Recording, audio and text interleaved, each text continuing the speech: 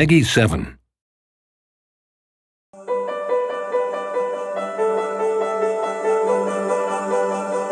One of the fun things about playing is making up stories.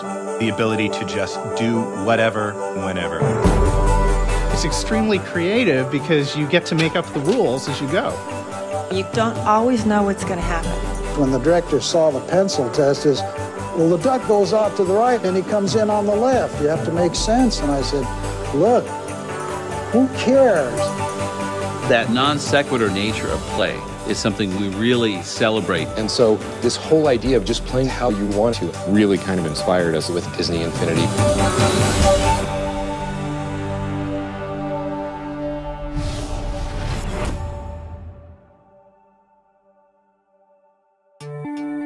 And then we're probably going to punch up the. As I think back, the genesis of the toy box, it came from Toy Story 3. We wanted to do something that was much more than just kind of that see the movie, play the game mentality. And what Toy Story 3 showed us is that all these characters could coexist because they were toys. And that just blew the doors open for us. John Blackburn came to me and he said, I have this idea.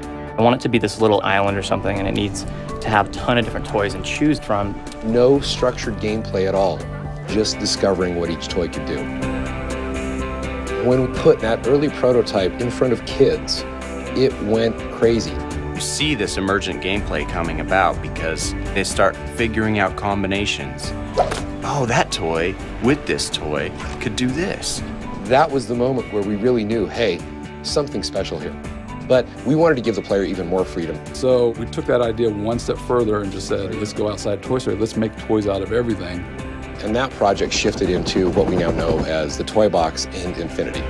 The name Toy Box is really apt because it is essentially a modern digital form of what to me was a toy box when I was a kid. This is your chance to create your own journey, and that's kind of honest play. The hardest thing to find was we had to get out of the way of the player and just let their imagination be what guides them. We let you express yourself the way you want to. This is your playground. This is your toy box. You play with the way you want to. It's exciting for us to have a game where players can play for hours and days if they want with these characters that we've created. I think playing equals creativity, and creativity is playing. It's one and the same. I think that's what Infinity gives you is the ability to be creative in a way that no one's ever seen before.